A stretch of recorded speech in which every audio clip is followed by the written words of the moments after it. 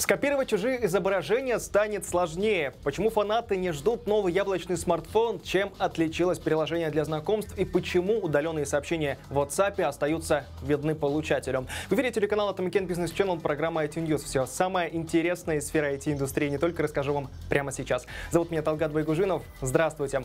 Любителям скачивать чужие фотографии и картинки теперь придется довольствоваться не совсем качественным изображением. Причиной этому служит изменение, внесенное компанией Google. Теперь при поиске определенного изображения открыть его в полном размере не получится. Этот пункт исчез из функционала настроек поиска. Под картинкой появится надпись «Изображения могут быть защищены авторским правом». Такой запрет связан с жалобами фотографов и издателей на то, что их работы беспрепятственно крадут.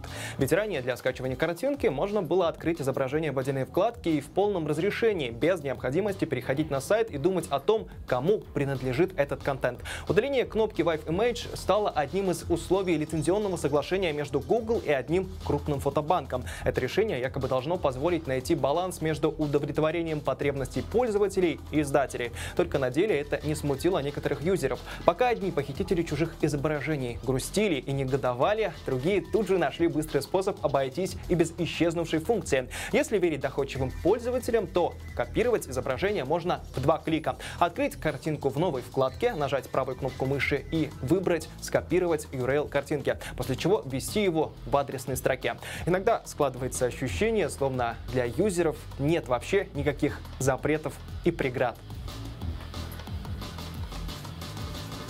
Монобровь щелка, циклоп, как только не называют свой гаджет владельцы нового яблочного смартфона. Слишком много шумихи было до и после выхода революционной модели. От признания компании намеренного снижения производительности старых моделей до сбоев в самой новинке. Единственное, в чем были согласны все без исключения, зачем эта полоска сверху. Ходили слухи, это якобы специальная задумка, чтобы десятка отличалась от подобных безрамочных телефонов.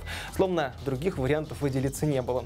Оказалось, оказалась достаточно революционной функции Face ID, но производитель то ли действительно прислушивается к мнению своих фанатов, то ли это была изначальной задумкой. Главное, что по появившимся в различных изданиях информации монобровь все же подрежут, как и тыльный модуль камеры. Он больше не будет выступать за пределы корпуса. Что касается самого железа, то сильного прироста технических характеристик ожидать не стоит. Честно говоря, 11 модель больше напоминает доработанную десятку.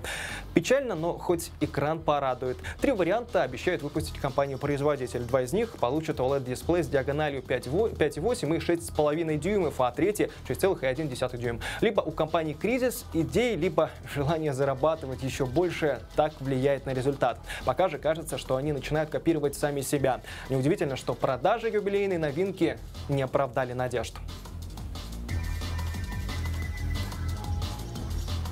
И смех, и грех, иначе разработку американского стартапа не назвать. Компания запускает мобильное приложение для поиска пары на основе данных ДНК.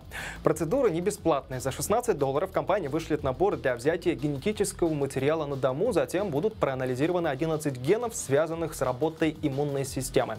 На основе этих данных приложение будет определять вашу совместимость с потенциальным партнером. Сообщается, что решающую роль играть будет не сходство, а различие генома. Компания полагается на гипотезу, согласно которой люди предпочитают встречаться с партнерами, чей ДНК значительно отличается от их собственного. Предполагается, что это позволит увеличить шансы на здоровое потомство. Звучит ужасно неромантично. Неважно, если вам не нравится цвет глаз, рост, шутки и характер партнера, главное ДНК. Интересно, как же люди вообще жили без этого приложения? К слову, выбирать потенциального спутника жизни можно будет из базы. И только в том случае, если ваш анализ совпадает. К счастью или несчастью некоторых, первое время программа будет доступна только жителям Хьюстона, но со временем она появится и в других городах США.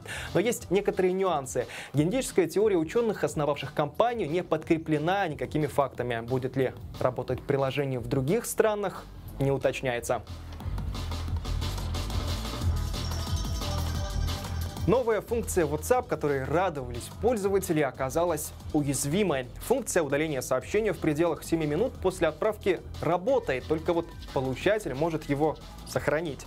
Цитируемые сообщения, как в групповых, так и в частных чатах, продолжают отображаться даже в случае удаления. Пока непонятно, это ошибка, недоработка компании или все же специальная опция. Ясно точно одно. Сообщение легко может остаться у пользователя, например, даже с помощью скриншота. Поэтому главное помнить о том, что слово действительно не воробей.